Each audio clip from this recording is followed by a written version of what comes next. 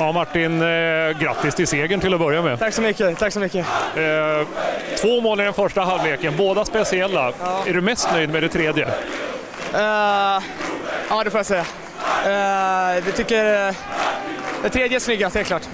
Eh, varför vinner ni den här matchen, tycker du?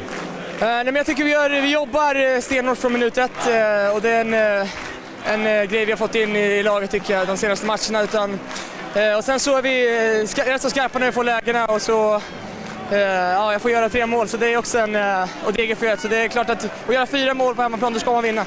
Det är sån enorm skillnad på Örebro nu eh, jämfört med bara några månader sedan. Vad är det som har hänt? Alltså jag var inte här för några månader sedan så det är svårt att sätta fingret på just eh, hur det var då. Men jag det är din förtjänst men. Nej, nej det är det inte. Utan vi, men eh, vi kom in tre nyförvärv med eh, en annan typ av energi skulle jag säga. Och vi har fått med oss hela laget och jag tycker att det är en, bra kvalitet på, på de flesta spelarna och alla har höjt sig. Så att, ja, men jag tycker det är svårt att sätta fingret på just vad det är men jag tycker att vi alla har höjt ett snäpp och spelar väldigt bra fotboll.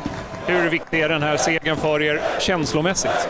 Eh, såklart den är jätteviktig. Det är, eh, Falkenberg vann ju och eh, även fast vi säger att vi inte ska kolla i tabellen så gör vi det givetvis. Och vi vet ju om vilken situation vi är i och eh, det gäller att ta tre poäng så eh, det är jätteskönt att vinna. Ska du gå och köpa en trisslott eller något nu? Eh, nej, det var inget turmål va? Det sista var inget tur. Nej, det sista. Nej, det, det blir ingen, ingen trisslott utan det blir äta god mat där uppe och så fira med grabbarna. Bra, grattis. Man. Tack.